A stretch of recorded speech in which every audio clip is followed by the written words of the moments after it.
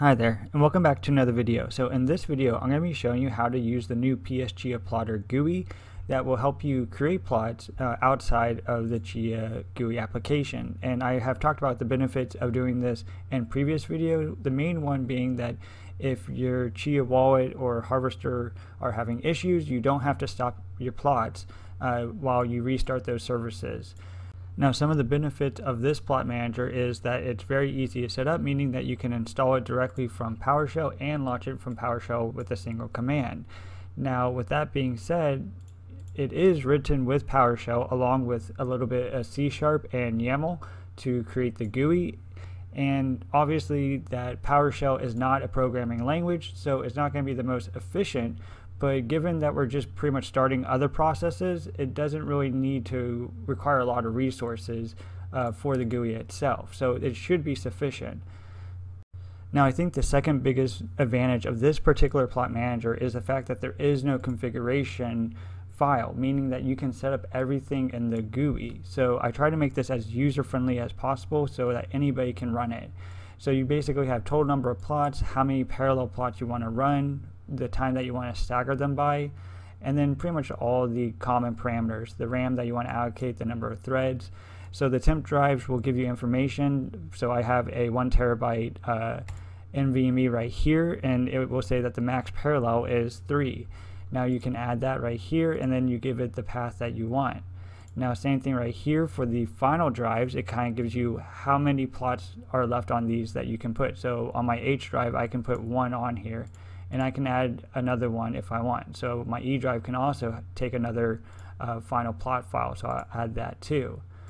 Now another advantage of this is let's say I enter in a wrong path, you know, it will catch this right here. So it says the file directory this path does not exist. So it does have some catches so that you don't uh, accidentally enter in the wrong information. Now let's talk about some of the drawbacks of this particular plot manager. The first being is that currently it will only run on Windows. I have no plans on porting it to Linux right now because I just don't have the time to do that. Feel free to look at the source code and see if you can modify it, but uh, it might be a bit difficult. The second drawback is that it was written in PowerShell 5.1. So if you're using PowerShell Core, it might or might not work. You know, so if you are running on Windows, you should have the uh, Windows PowerShell installed. Now you can check this by doing PS version table, and as long as this says 5.1, you should be good to go. Now the last disadvantage of this plot manager is the fact that it was written by me and I am not a software developer. I'm a system administrator who likes to program in his free time at home. And I have written some applications in the past, you know, solely in C Sharp, uh, some hybrid PowerShell C Sharp uh, monsters, but you know, this thing is not written by a you know an actual professional. So just keep that in mind. So if you are a software developer and you do see the source code and wonder why I did something and think it should be different, well feel free to go to the GitHub. It is open source, so you can do any modifications that you want to it and submit a pull request, in which if I think it adds value to the module, then I will merge it. Now, if you do have issues with the module, you can of course submit issues uh, right here and I will try to look at them. I can't guarantee that I will fix everything because I do have a full-time job and I wrote this in my free time because I like to code and I like to give back to the community of Chia. Now with all that being said, let me go ahead and show you how to install the PS Chia plotter module and then from there I'll show you how to use the plot manager GUI. So go ahead and search Windows for PowerShell and then we're going to run this as administrator. Now we're just running it as administrator to install the module. The module itself does not to need to be ran as administrator once we have it installed. So we're going to do install module dash repository. Now the repository is going to be the Microsoft hosted one, PS Gallery, and then the name of the module, which is going to be PS Chia Plotter. Now by default, the PS Gallery is not trusted um, on your computer. So if you don't, if you haven't changed the trusted policy, you might get a prompt and just go ahead and click yes. The reason why it's not trusted by default is because everything on there cannot be guaranteed to be safe but this is the community uh, gallery that is hosted by Microsoft. So here you can see that I already have this module installed. So if you already have this installed, you will need to update it to version 1.024. So let me go ahead and do that. I'm going to do update module. Now we don't need to specify the repository for this. We just need to do dash name and then do pschia plotter. And now it will install or update the module that has the PS uh, plotter GUI in it. Now that we have this installed, we can close the administrator uh, prompt and we can open up a non-admin prompt. Now, if you do have any more issues trying to install the module, like the NuGet um, version is not up to date, uh, I do have a video where I kind of go over this. So this is the video where it says PSChiaPlotter plotter cannot be loaded. And I go over some other useful information in that video as well.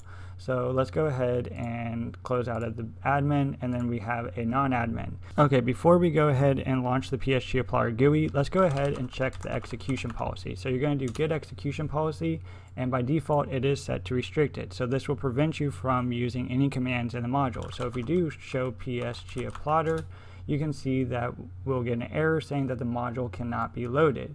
And this is because of the execution policy. So in order to get around this, you will have to open up an administrator console and then do set execution policy to remote sign and this will allow you to run uh, scripts or modules that you installed from the internet.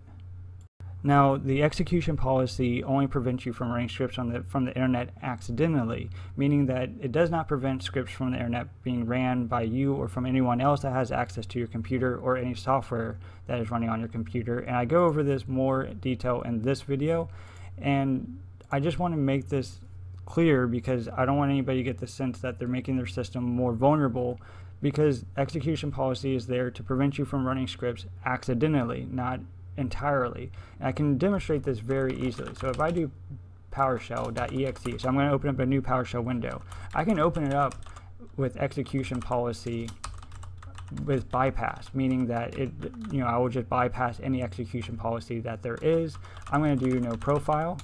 And now that you can see that, you know, I have a new PowerShell process going, and then if I try to run the same command that we did before, it will run no problem. And any type of malicious software is going to do bypass and run any PowerShell process in the bypass. So execution policy does not protect your computer, it's just there to protect yourself from accidentally running scripts that you did not mean to run.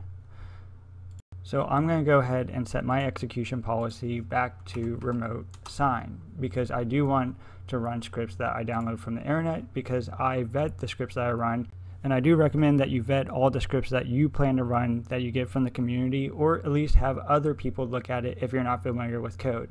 Okay, so now that we have this all out of the way, I'm going to go ahead and launch P the PSChiaPlotter GUI. And you can do this by running show PSChiaPlotter and clicking enter. Now this will launch the GUI. It might take a couple seconds because it is grabbing this information right here, you know, grabbing the drives that you have connected and getting the information about them. Now the first thing that you want to do is click new job right here and I will walk you through this process right now.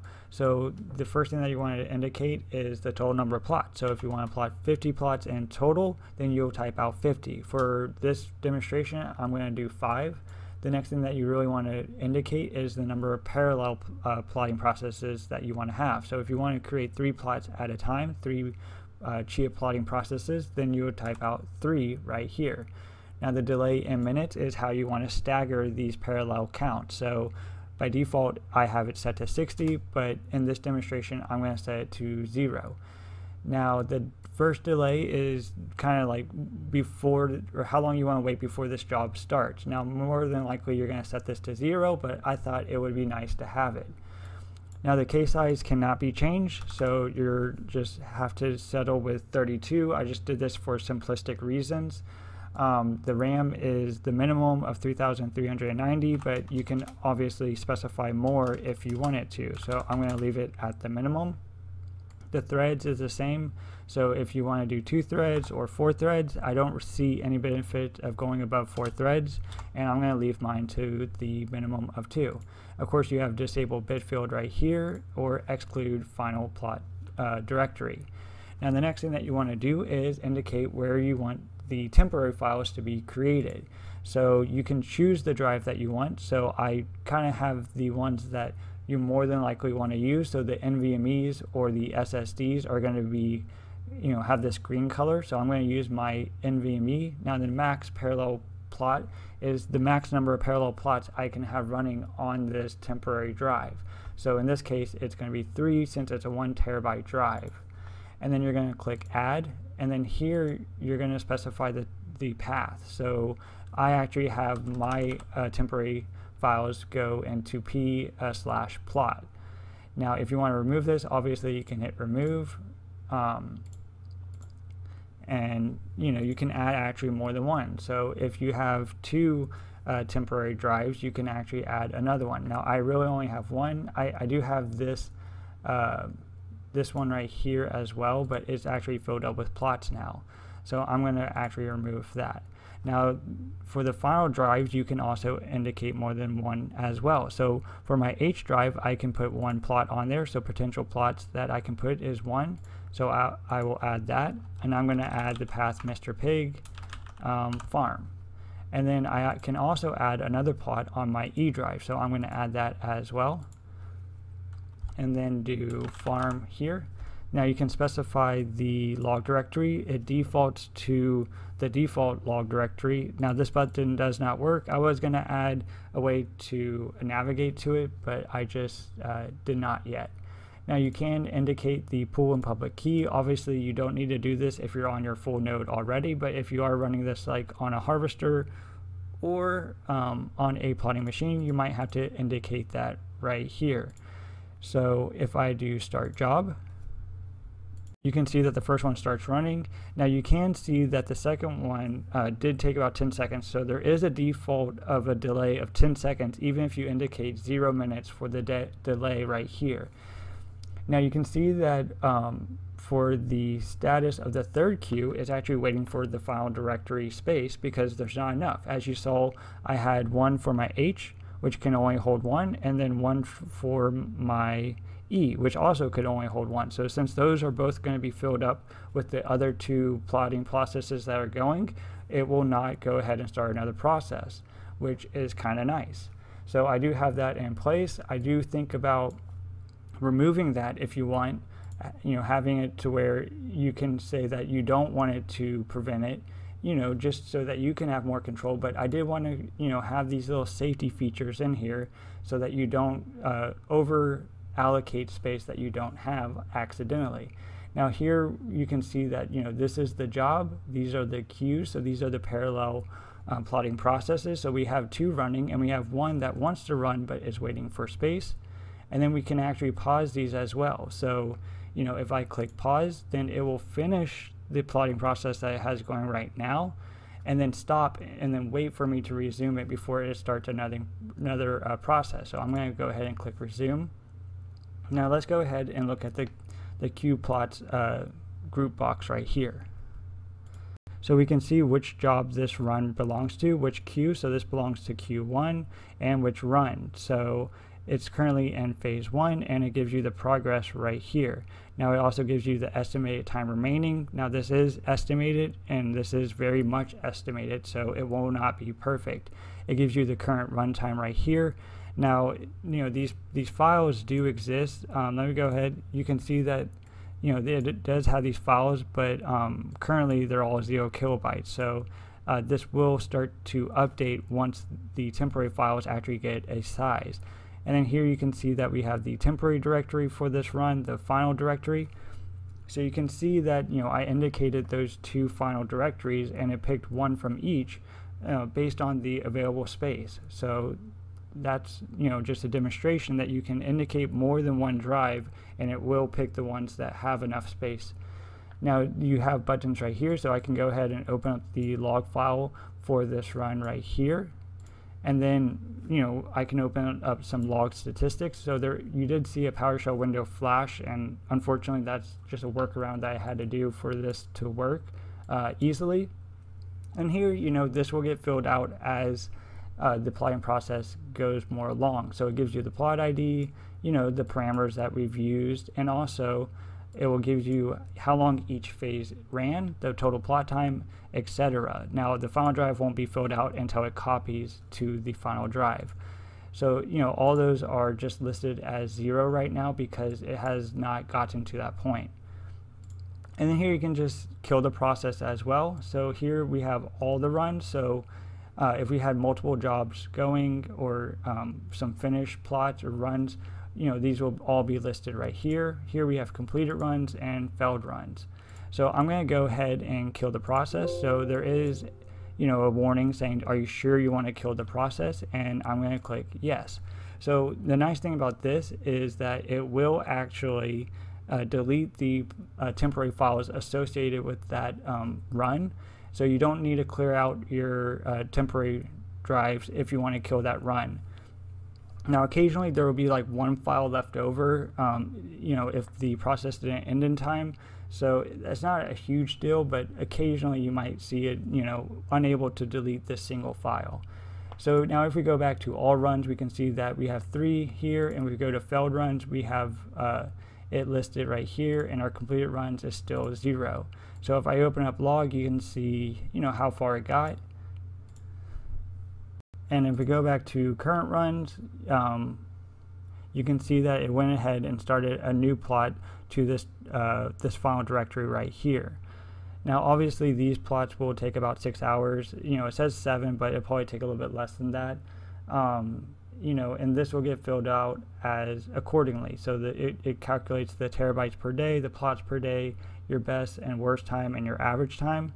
Now these volume information do not automatically update. So these will stay the same from the second that you launch the GUI, but you can refresh them. So if I hit refresh, it will actually refresh them. And you can see my Z drive actually changed in size um, because I'm recording a video and that's where it gets recorded too. So if you do want to refresh this information, you will have to click this button right here. So it took some time, but you can see that the temporary size finally did show up. So this is 60 gigabytes. It is in gigabytes, and this is 53. Uh, so what it's doing is it's reading the temporary files with the plot ID in the name.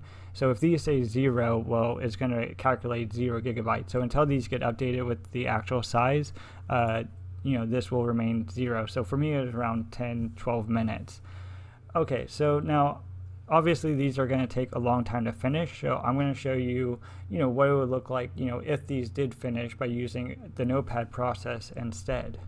Now I could kill each of these by doing this and it will automatically delete the temporary files um, so I'm going to go ahead and exit out of it but so if I exit out of it like that it will not delete the temporary files because the functions cannot finish running before the GUI actually exits so if we go to Task Manager, we can see that you know the Chia executable or the, the Chia process did stop, but um, it wasn't able to delete these temporary files in time. So if you do exit out of the Plot Manager without killing those processes first, it will not delete these temporary files. So you're going to have to delete them um, yourself. So I'm going to click yes, and then of course you got to go to the recycling bin to make sure that it gets actually deleted. Now, if you do want to play around with this uh, Chia plotting manager without uh, running the Chia processes for the uh, jobs, you can run it with the switch debug with Notepad. So this will start Notepad processes instead of the Chia plotting process. Obviously, not all the features are going to be in here that, that are going to be the same, but you can set this up as you normally would. So I'm going to again do zero. I'm going to do five total plots with three in parallel. I'm going to select my same NVMe and I'm going to set my two that I selected last time, my E and my H. Now I'm going to click Start Job. And then here you can see that it started a notepad process. So this can be helpful if you're just trying to get your head around how this manager works. So I'm going to minimize that now obviously the open log won't work on these because the log file is not being generated. You know, this will also not work. But let's go ahead and simulate one of these processes being finished. So if we close out the notepad process, it will exit out normally. So it will think that the process finished up correctly. So if I do that, it's going to actually think that the job was completed. And we can see that it's under completed jobs up here we can see that the plot uh, completed and we have zero failed plots. Now it does open up another one, um, even though realistically it wouldn't because there would be 100 gigabytes that would have been saved onto that drive. But since you know this isn't actually creating a plotting process, that's not happening. So let's go ahead and check out the pause feature as well. So this is going to be Q1. So this is Q1, so I'm going to go ahead and kill this process. Now it does take some time because it is basically running in a loop and here you can see that a new notepad process did not start and it is currently paused. So if if I click resume, it should start back up within like 10 seconds and here we have a new notepad process going. Now this waiting on file directory space, now this is a loop for 60 seconds because, you know, if you are waiting on space, it might take a while. So that's why I have a pretty long loop for the waiting on file directory or waiting on temporary directory space. Now the last thing that I do want to mention is the fact that the total number of plots you want to create are going to be calculated with plots completed and plots failed. So if you have, let's say, two plots that failed and then three plots that completed normally, well that will total five. So it's not going to be the total number of plots completed, it's going to be plots completed plus plots failed. So now you can see that we have one in progress, two completed, and two failed. So this cube finished up along with this cube. So if I kill this process, you can see that we'll have three failed plots, two completed ones, and that will equal up to a total of five. So this job will be completed. And you can see that the status did get updated to completed. And then here you can see since we got two completed, you know, we have two plots per day. Um, and we have 2.2 terabytes per day. And then here you can see the best time, the worst time, the average time. Obviously, this has a lot of work that could be done. Um, I just threw quick information that I think would be useful in the summary group box right here. Now obviously this plotting manager is not perfect and I do expect some people may be running into issues um, because I can't anticipate all the machines that it's going to be running on. And you can see right here that you know this doesn't get updated when the plots are completed. You know the summary is kind of lackluster. But if I try to make this perfect, I probably would have never released it. And so I just figured I would get it in a working state that I think works, you know, sufficiently enough for most people. And um, I do anticipate on working on it in the future. But again, it will take some time. So if you do have some features that you want me to include in it, I can already anticipate people wanting the delay to be the phase one delay instead of minutes. So I will try to work on doing that, but it will take some time. I do hope you find this video useful and you find that this plotting manager is easy to use and I hope it helps you plot in the future or replots um, whenever pools come out. I will be updating as fast as I can any additional plotting parameters that will be used for plotting uh, pool plot files. So I will try to rush that update as well. If you do have any questions, please leave them in the comments below and I will try my best to answer them. I really do appreciate all the support that you guys have given me in my previous videos and I'm very happy that some of my tools that I've created has been useful for people in the Chia community. Now with that being said, I would like to give a quick shout out to the channel Sloth Tech TV since he did mention one of my videos in his last video and you know I related to so much of what he said in his video is your farmer really working and just his journey in Chia and how it's been such a learning process even from someone coming from IT.